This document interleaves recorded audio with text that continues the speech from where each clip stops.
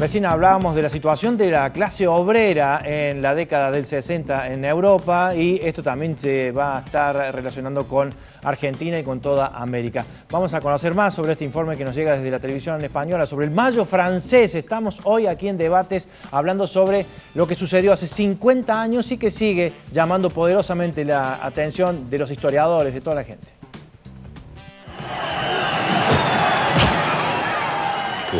Para situar bien el mayo del 68, es necesario saber que en abril del 68, es decir, un mes antes, hubo unos disturbios sangrientos en Harlem, Nueva York. Hubo manifestaciones y enfrentamientos muy duros con la policía en Chicago. Y fue el mes en que Martin Luther King fue asesinado. Así que los sucesos de París no eran algo aislado. El 11 de abril, un atentado contra Rudy Duske, el líder de la Liga de Estudiantes Socialistas, provoca un nuevo estallido de violencia. Rudy el Rojo, que muere asesinado por un fanático nazi, es el nuevo símbolo de una juventud que rechaza en bloque el orden burgués occidental. Aquel 68, los aires contestatarios de la juventud se dejaban sentir en otros muchos lugares del mundo. En Alemania, a partir del atentado sufrido en Berlín Occidental por Rudi Dutschke, líder de la Liga de Estudiantes Socialistas, los disturbios se generalizan por todo el país.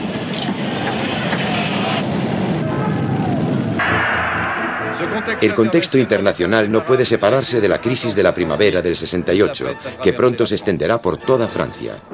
Aquel 20 de agosto, las tropas del Pacto de Varsovia invaden Checoslovaquia. Dubček era confinado en Ucrania.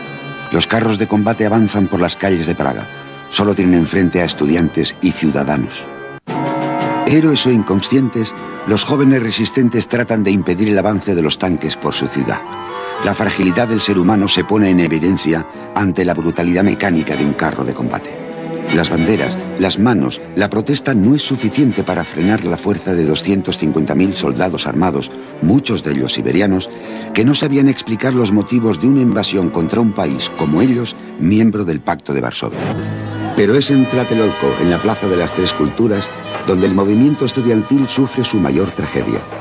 A tan solo 10 días de la inauguración de los Juegos Olímpicos de México y después de tres largos meses de enfrentamientos, el ejército, apoyado con tanquetas blindadas y bayoneta calada, rodea y abre fuego real indiscriminado contra una concentración de 10.000 personas. La versión latinoamericana del Mayo francés se saldó con más de 100 muertos. A finales de año, 50.000 personas realizan en Washington una marcha por la paz hacia el edificio del Pentágono. Se trata de una manifestación impresionante que reúne adeptos de todas las clases sociales. En señal de protesta, los jóvenes llamados a filas queman sus cartillas militares. Por los mismos motivos, la revuelta llega a Japón. La América capitalista es señalada directamente con el dedo. Pero los primeros eslóganes de los estudiantes condenan también toda forma de capitalismo salvaje en el mundo. Las manifestaciones degeneran. Paralelamente, el movimiento de protesta se extiende a Europa. En los Países Bajos, los enfrentamientos entre policías y estudiantes son violentos. En Italia sucede lo mismo. Roma queda paralizada por miles de estudiantes en huelga que protestan contra la reforma de la enseñanza.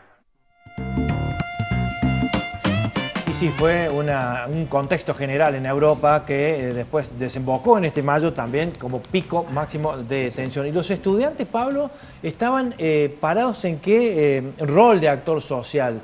Porque decíamos, los obreros que protagonizaron estas huelgas y estos, estos enfrentamientos eran casi ciudadanos de segunda. ¿Y los estudiantes? Un poco recuperando lo que decía Carlos hace un rato, es interesante que los obreros forman parte de ese acuerdo entre el capital y el trabajo, del cual el Partido Comunista Francés es, uno de los garantes, digamos. Y que, había dicho hace un rato también, implicaba una especie de congelamiento de las energías utópicas en el seno de, eh, del, movimiento obrero y en el seno de la sociedad francesa.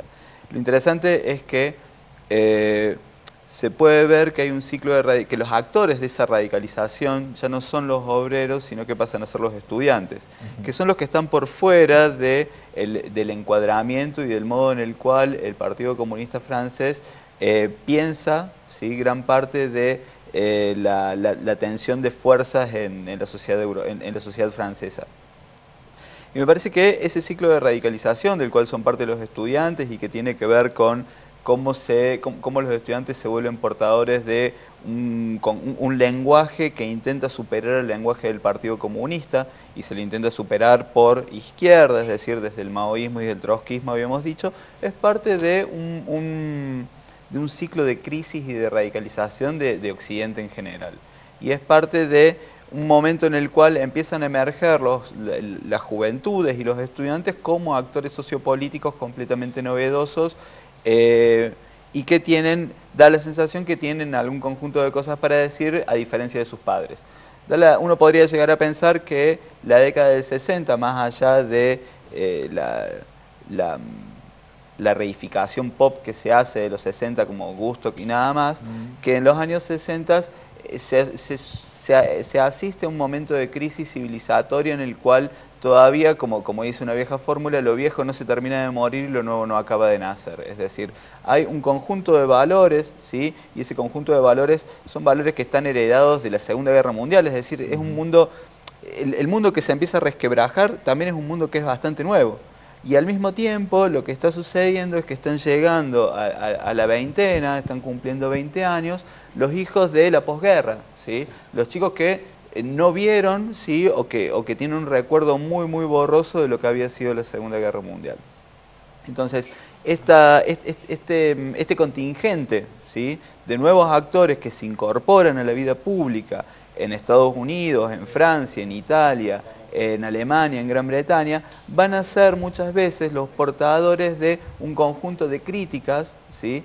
frente a un orden que para ellos les resulta completamente... Eh, no les resulta tan sagrado como para sus padres que han vivido la guerra. Sus padres han vivido la guerra, sus padres pueden hablar de carencias, pueden hablar de muerte, pueden hablar de, de bombardeo, pueden hablar de un montón de cosas, pero ellos no han vivido eso y por lo tanto tienen o están parados en un lugar que les permite cuestionar, les permite criticar esa sociedad de sus mayores. Por eso digo, los 60 es un momento interesante en el cual mucho de lo viejo eh, está, no, está terminando de morirse, mucho de lo nuevo no está terminando de nacer y por eso están sucediendo eh, todas estas cosas.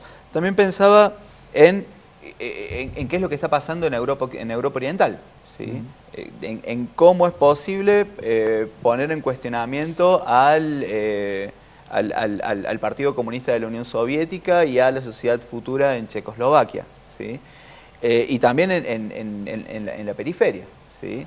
en América Latina, sin ir más lejos, Cuba se transforma en una especie de faro a través del cual es posible pensar eh, un, horizonte distinto. De la misma manera que en los, años, en los años 20 México se había transformado en la meca en el cual todo el latinoamericanismo y todos los intelectuales que quisiesen pensar en un futuro latinoamericano tenían que ir. En los 60, Casa de las Américas, por ejemplo, en Cuba se transforma en el horizonte y en el marco de referencia de toda una intelectualidad que está corriendo hacia la izquierda muy rápidamente. Bien, y en Argentina, Martín, esto ha tenido también su repercusión, pero esto viene desde antes de los 60, eh, esto se venía gestando 10 eh, o 15 años antes y ha tenido su, lógicamente, su pico máximo durante el Cordobazo. Sí, creo que en realidad eh, si no hubiera habido lo que hubo antes, es posible que la unión o la articulación que se logró, por ejemplo, en Francia, no sé si se hubiera logrado en el 69 aquí.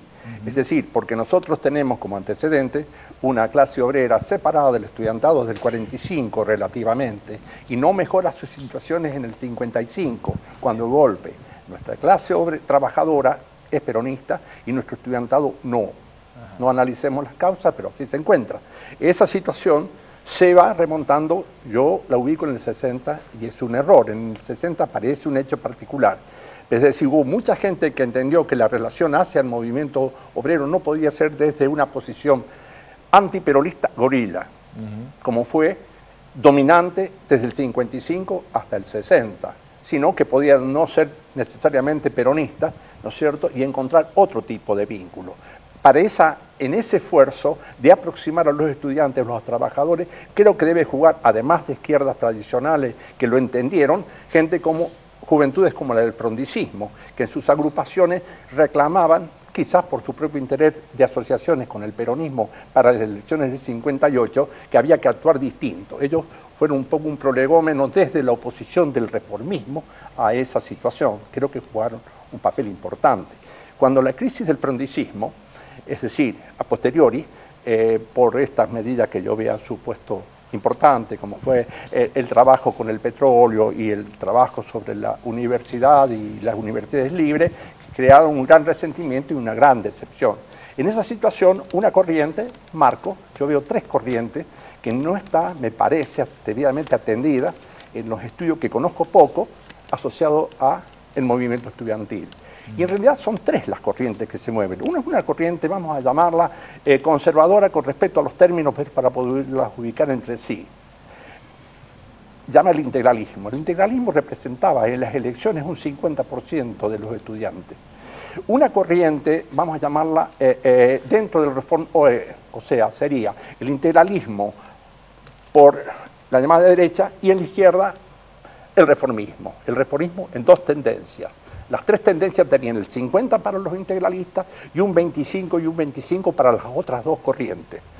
Esa era la situación.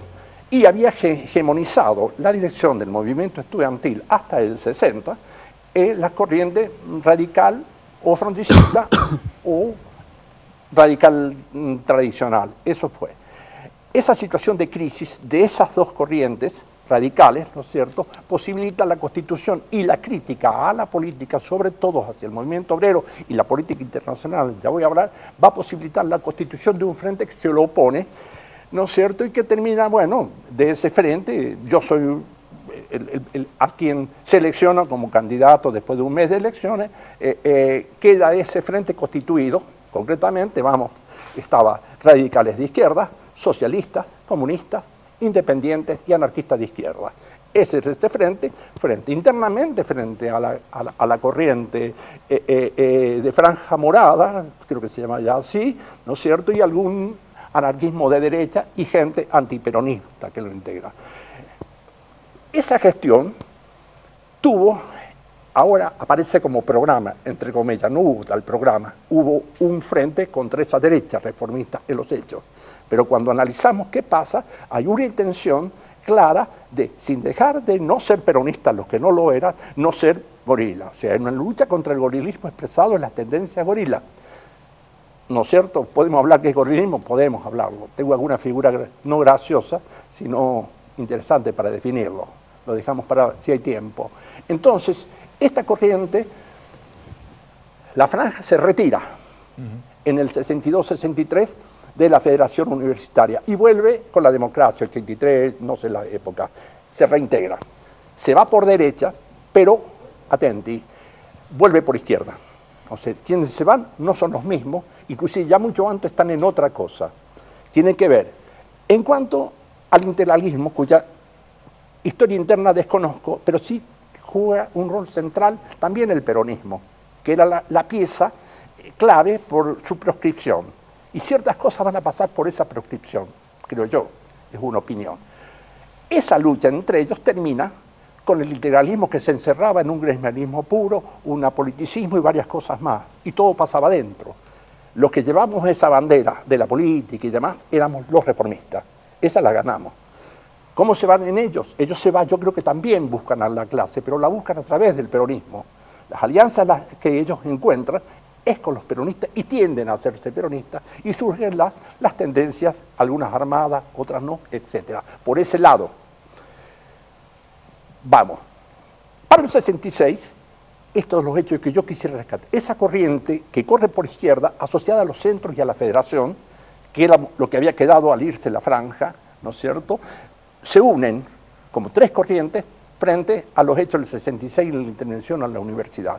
O sea, hay una muy interesante articulación del movimiento estudiantil con todas sus diferencias, ¿no es cierto?, en un frente democrático y antidictatorial, que se sostiene relativamente hasta el 69, porque había caído toda la lucha estudiantil, por eso la repercusión orgánica de lo de Francia es débil en la Argentina, en lo que yo conozco, y si hay más, debe haberlo visto. Pero como dijo usted a nivel individual... Eh, ah, creería que sí. Causó efecto como a modo reflexivo y entusiasmando, ¿no? Claro. Lo otro curioso que aparece es que esa unión se mantiene frente al cordobazo.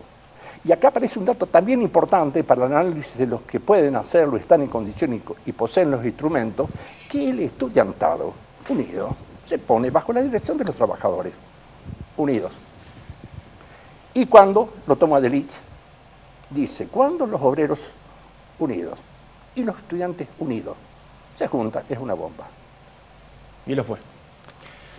Bueno, ya vamos a continuar con más porque tenemos más sobre la eh, repercusión del mayo francés en América, en Europa. Vamos a seguir desglosando este suceso mundial que cumple 50 años eh, aquí en debate por Canal 1. No se vaya. ¿eh?